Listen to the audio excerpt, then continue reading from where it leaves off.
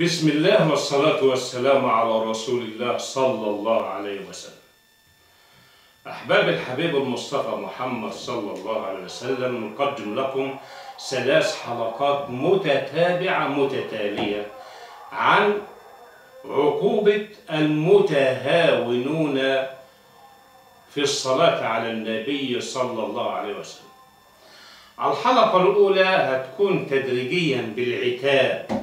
عتاب من من؟ من رسول الله صلى الله عليه وسلم طب هيعاتب مين؟ هيعاتب ناس عاديين؟ لا ده ناس بيكتبوا في حديث النبي صلى الله عليه وسلم ليل نهار طيلة حياته بيعاتب مين؟ علماء الحديث يا خبر أبيض أمال اللي عند- نايمين عندنا في القنوات وفي الصفحات واللي في جميع قنوات الصلاة على النبي وصفحات الصلاة على النبي في السوشيال ميديا كلها هيعملوا إيه؟ شوف العتاب هيكون إزاي؟ وبعد كده هننتقل على العقاب. يبقى الحلقة دي عتاب واللي بعد كده عقاب. واللي بعد كده هلاك. يبقى في عتاب ثم عقاب ثم هلاك في الدنيا. في الآخرة بقى الله أعلم بيه. نشوف أول حاجة كده. أولا عتاب العلماء كان بيتلخص في حاجتين. إما أنه كان يسقط الصلاة على النبي صلى الله عليه وسلم عند الكتابة عشان متعجل ونفسه يكتب بسرعة؟ أو أنه يسقط كلمة صلى الله عليه وسلم حتى لا تستهلك ورق كتير في الكتابة وأحبار؟ كانوا بيكتبوا بالريشة زمان. أو أنه يكتب رمز مختصر للصلاة على النبي صلى الله عليه وسلم مثل صاد صاد بين قوسين يعني صلى الله عليه وسلم. أو يكتب صال عم صاد لام عين مي يعني اختصار لصلى الله عليه وسلم. أو يكتب علي صاد عين ميم علي صع ميم. عين ولام وياء وصاد وميم. طب دول إيه؟ يقتصر الصلاة على النبي والسلام على النبي. يعني عليه السلام عليه يكتب عام وعين ولام وياء. وصاد وعين وميم يبقى صلى الله عليه وسلم. ده اختصار. يبقى فالناس بتسكت وناس إيه بتسقط الصلاة على النبي خالص ما يكتبهاش خالص. وناس تكتبها برموز. ودول مين؟ علماء حديث. النبي صلى الله عليه وسلم قالهم في المنام. طب نشوف أول واحد. هرفعه قدامكم في الصورة. عتاب رسول الله صلى الله عليه وسلم لابن عجينة. ابن عجينة كان إيه؟ بيقول لك كنت إذا كتبت الحديث أتخطأ فيه الصلاة عن النبي صلى الله عليه وسلم. أتخطأ يعني؟ أتخطاها يعني. يعني أتركها. زي ما تقول إيه؟ تخطى لما يجي إعلان كده عند فيديوهات ويكتب لك تخطي. يعني إيه تخطاها؟ يعني إيه؟ اضغط عليه عشان تفوت الحتة دي. فبقول كنت أتخطاها يعني لا أكتبها. أريد بذلك العجلة يعني السرعة. فرأيت النبي صلى الله عليه وسلم في المنام فقال ما لك لا تصلي علي إذا كتبت كما يصلي علي الطبراني. قال فانتبهت وأنا فزع. فعاهدت الله أن لا أكتب حديثا فيه حديث النبي صلى الله عليه وسلم إلا كتبت صلى الله عليه وسلم. يبقوا يا جماعة ابن عجينة عالم حديث والطبراني عالم حديث. الطبراني رحمه الله اللي عمل ثلاث مجلدات في علم الحديث الطبراني الكبير والطبراني الأوسط والطبراني الصغير. ثلاث ثلاث أجزاء. هم آلاف الأحاديث. بسم الله ما شاء الله يعني. أو مئات الآلاف. كل ما يقابل اسم النبي صلى الله عليه وسلم يكتب إيه؟ صلى الله عليه وسلم. يبقى أنا لما أقرأ الحديث وأقول إيه؟ عن علي بن أبي طالب رضي الله عنه قال قال رسول الله صلى الله عليه وسلم خلي بالك أنا بقول إيه؟ صلى الله عليه وسلم عشان مكتوب. يقوم اللي مستمع وأنتم قوموا تقول إيه؟ صلى الله عليه وسلم اللهم صل على سيدنا محمد. أنا قلتها وكم واحد سمع الفيديو في في مكان في العالم خد الصواب. الصواب اللي أنا قلته واللي واللي كان كاتب. وأنت نقلته لكم واحد وما علقت تنقل لكم مية أو كم ألف وما شيرته تنقل لكم مية أو كم ألف هتلاقي عندك جبال من الحسنات وقبرك منور في آخرتك وعندك ميزانك ثقيل يوم القيامة. فالطبراني رحمه الله كان يكتب صلى الله عليه وسلم. ابن عجينة كان نفسه يعمل إيه؟ يعمل أكبر عدد من إيه؟ من الأحاديث النبوية الشريفة. وده شيء ممدوح ولكن جت على حساب النبي صلى الله عليه وسلم. تيجي عندي اسم النبي وما تكتبش صلى الله عليه وسلم. قال رسول الله ما يقولش صلى الله عليه وسلم. إحنا نقول إيه؟ صلى الله عليه وسلم. قولوا معايا. صلى الله عليه وسلم. اللهم صل على سيدنا محمد. قولوا تاني اللهم صل على سيدنا محمد. وكيلك اجر اصحوا معايا. شفتم العتاب والمدح. مدح رسول الله صلى الله عليه وسلم الطبراني وعاتب ابن عجيب. طب عاتبه ليه؟ عشان هو عارف إن هو نيته يكتب حاجات كتير قوي عن النبي. بحب النبي بس الحتة دي النبي مش عايز يحرم أمته من الصواب لأن لما يسيب صلى الله عليه وسلم يقول لك يا معناها ده ربنا بصلى عليا يا أبو عجينة. يا ابن عجينة ربنا بصلى عليه أول بلا بداية وآخر بلا نهاية. وأنت جاي تسقط الصلاة عليا عشان أمتي لما تقرأ الاحاديث النبوي ما تصليش عليا. أنت عايز تسن سنة سيئة في الإسلام؟ معنى الكلام فده عتاب طب تعالوا نشوف العتاب الثاني أرفع لكم صورة ثانية هنا بقى هيعاتب ربنا مين؟ الرسول صلى الله عليه وسلم هيعاتب مين؟ الحسن بن علي العطار قال كتب لي أبو طاهر المخلص المخلص أجزاء بخطه.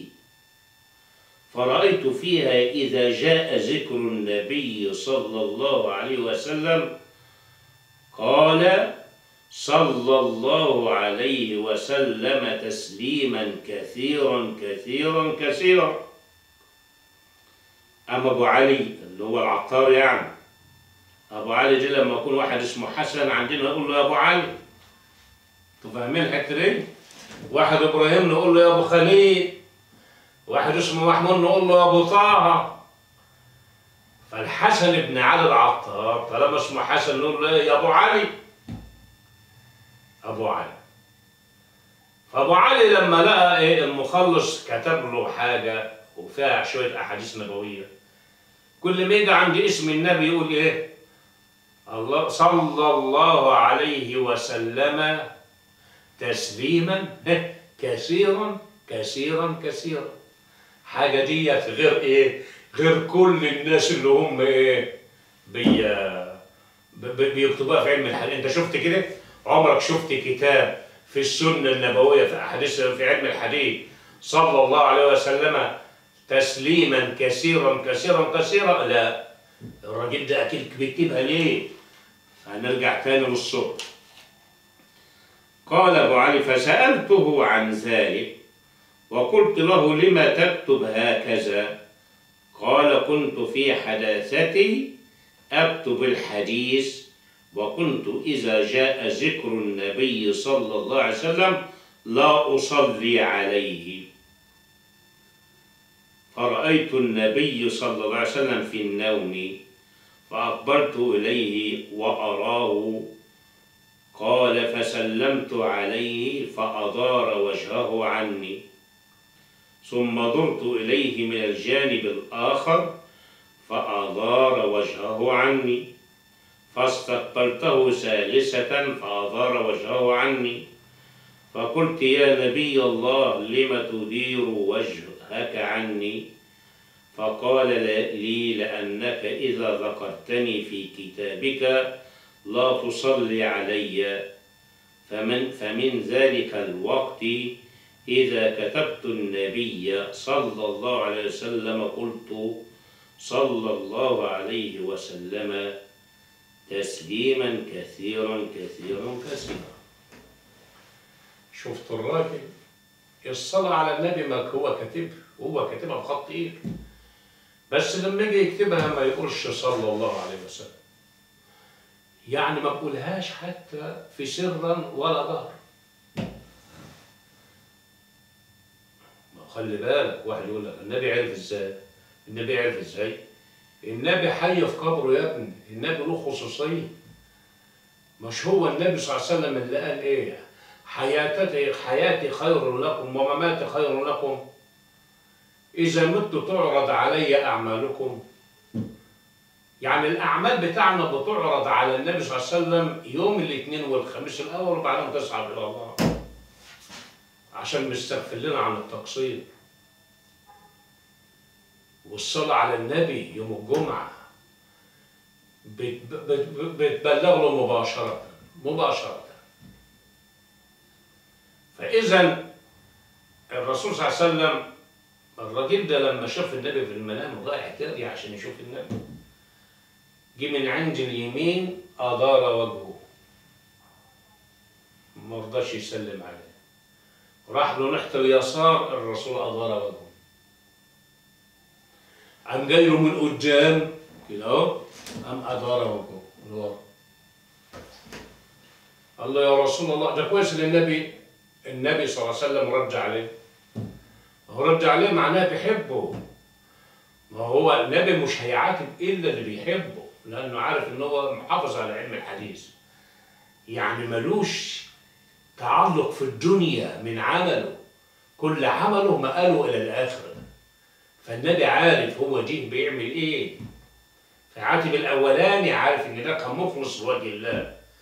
وعاتب ده لأنه مخلص لوجه الله بس بينبه. عتاب النبي صلى الله عليه وسلم تنبيه وتزكية لصاحب الرؤيا. تزكية وترقية. اللهم صل على سيدنا محمد. الس- الثالثه بصوا معايا. هنا اتنين بقى ربنا عات... الرسول صلى الله عليه وسلم عاتبهم. اثنان عاتبهما رسول الله صلى الله عليه وسلم. ليه؟ ما كانوش بيتموا الصلاة على النبي في الحديث.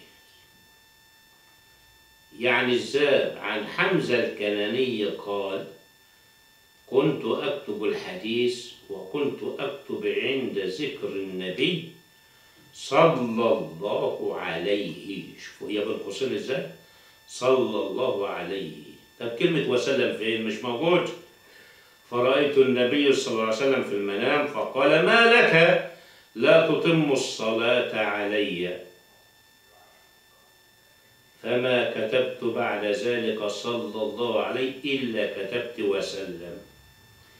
إبراهيم النسفي قال رأيت النبي صلى الله عليه وسلم في المنام كأنه منقبض مني منقبض مني يعني مش عايز يبص لي فمددت يدي إليه ثم قبلت يده وقلت يا رسول الله أنا من أصحاب الحديث ومن أهل السنة وأنا غريب. فتبسم رسول الله صلى الله عليه وسلم وقال إذا صليت علي لم لا تسلم؟ فصرت بعد ذلك إذا كتبت صلى الله عليه كتبت وسلم. يبقى الأولاني كان بيكتب إيه؟ صلى الله عليه وما كتبش وسلم. الثاني بقول أنا غريب يا رسول الله رسول الله يتبسم تبسم يعني جبر بخاطره ده في المنام كأنها في اليقظة بالضبط خلي بالك فقال له يا رسول الله أنا من أهل الحديث قال له إيه اللي بيمنعك أنت لما تصلي عليا ما بتسلمش علي؟ وإحنا عندنا في الصلاة المفروضة والنوافل في التشهد. في النصف الأول بنسلم على النبي وفي النصف الثاني بنصلي على النبي. وحتى في سورة الأحزاب في القرآن الكريم ربنا بدأها بالصلاة على النبي. الآية رقم 56 وزيلها بالسلام على النبي صلى الله عليه وسلم. يبقى صدر الآية قال تعالى إن الله وملائكته يصلون على النبي. طب الأمر إيه؟ يا أيها الذين آمنوا صلوا عليه. يعني أنتم ما أنتوش هتبقوا أحسن من ملك. وأنا اللي خلقكم وأنا بدأت بنفسي بصلي عليه. باستمرار يصلون فعل مضارع يدل على الاستمرارية والتجدد. يعني باستمرار. اوعى تقول باستمرار قد إيه؟ طب من إمتى؟ لأن كده ممكن تشرك بالله. لأن الله ليس له بدايه وليس له نهاية. فالصلاة على النبي. ليس لها بداية وليس لها نهاية. وهو الوحيد اللي ربنا صلى عليه من الأنبياء. اقعدي بقى جنبك ولا جنب ستك ولا جنب أمك وحط إيدك على صدرك وقول أنا بصلي على النبي زي ما الشيخ قال لي بقالي سنة ولا اتنين ولا تلاتة وما اتجوزتش ومحدش خبط علي. لا أنا بصلي على النبي وكل ما يجي واحد يسيب البيت ويخ لا أنا بصلي على النبي وأنا مديونه وربنا ما فكش كرب. لا أنا بصلي على النبي وأنا مريضه لكن ربنا مش فاني لا بصلي على النبي وزوجة الله أنا ما رجنيش. لا بصلي على النبي وحاجة مني مفقولة وتايهة ما جاتنيش. أنا مش مبط أنا مش هصلي على النبي. إذا كان ربنا اللي خلقه بيصلي عليه لا نعرف إمتى ولا نعرف لا نهاية. يبقى أنت ما تصليش ربنا هيعاقبك طب هيعاقبك إزاي؟ اختاري لك نوع من العقاب في الحلقة اللي هنقولها بعد دي مباشرة. اختار ينقي لك بقى حاجة من العقاب لأن أنت هتبقى عاصي الله. عاصي الله سبحانه وتعالى ده أمر صلوا عليه. طب أنا حاجتي ما اتقدرش ليه؟ لأن أنت ربط حاجتك بالصلاة على النبي. وربنا عارفك. اوعي تقول أنت كويسة لا أنا حلوة لا أنا بعمل خير لا أنا بعمل كذا. ما تتكلميش هو ربنا له حكمة في كل حاجة نلتقي بكم في حلقة قادمة إن شاء الله من المتهاونين بالصلاة على النبي صلى الله عليه وسلم وعقوبتهم. والسلام عليكم ورحمة الله وبركاته.